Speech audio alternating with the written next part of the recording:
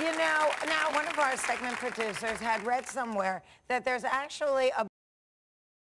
I love it. I love it. You know, now one of our segment producers had read somewhere that there's actually a biological attraction that people have that is what keeps us, you know, um, being attracted to each other. And that is something called uh, pheromones. It's how we uh, find the attraction so that we can keep propagating and, and uh, perpetuating the species.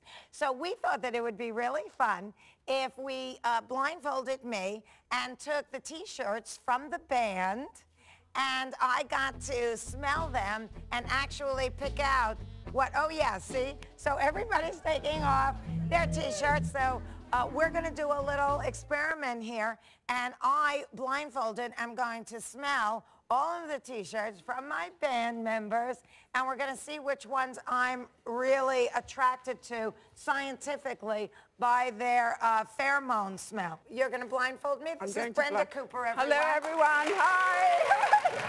Super Cooper. Okay, so I am not going to know who I'm smelling, but the band should raise their Yes, hand if you if you haven't been informed of that, so that the audience knows. That's a what real it is. sexy blindfold. So it, thank you. I, you know, I, I, I do once in a while like to accessorize with an animal print. There you go. Okay. Okay, I'm not getting my mojo going yet. Mmm. There's something nice about it, but it's not getting my mojo going either. Not yet. Mmm. Mmm. This has a very, very nice smell. Mmm. Okay, so far I would say that that was a, uh, a front runner. Uh, I don't know, not, not really giving me the old get up and go.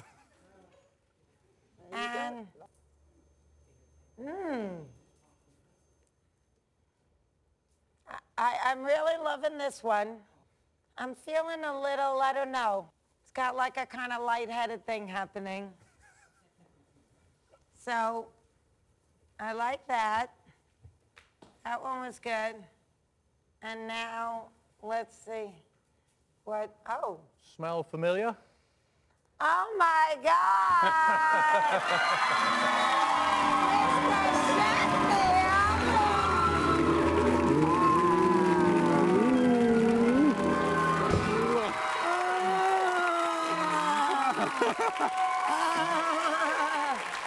I'd recognize that smell anywhere. We'll be right back with Mr. Sheffield, Charles Shaughnessy. Stay tuned.